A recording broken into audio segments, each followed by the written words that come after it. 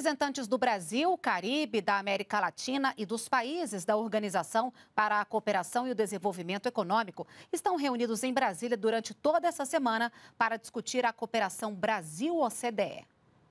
A sessão do Brasil à Organização para a Cooperação e o Desenvolvimento Econômico é um dos temas abordados na Semana Brasil-OCDE, que acontece no Itamaraty, o Brasil foi convidado em janeiro a dar início ao processo formal de ingresso na organização, que reúne as economias mais avançadas do mundo.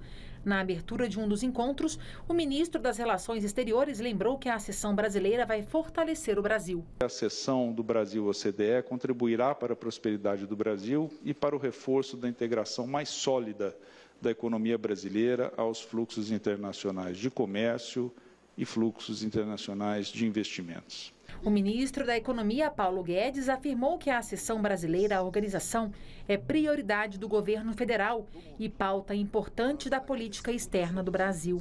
Desde o início do nosso governo, nós fizemos momentos, movimentos decisivos em direção ao CDR. Não é só a complementação de 112 dos 247 ou 257 instrumentos o Brasil já atua formalmente como convidado em mais de 30 comitês e grupos de trabalho da organização, em temas como comércio, investimentos, defesa da concorrência, agricultura, educação, tributação e economia digital.